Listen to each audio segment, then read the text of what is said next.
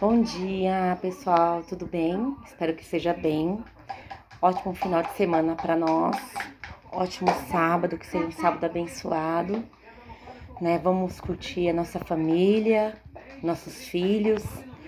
Então, ai, tá, tá um dia gostoso, calor maravilhoso. Fui lá embaixo, mas não deu para fazer um vídeo lá, porque eu desci com as princesinhas, né? Porque a Rebeca chora para poder passear. Olha aqui. Olha lá. Olha lá. Olha lá. As três princesinhas lá. Olha lá. Olha lá, coisa linda. É, hoje eu tô aqui cuidando das, das minhas princesas, né?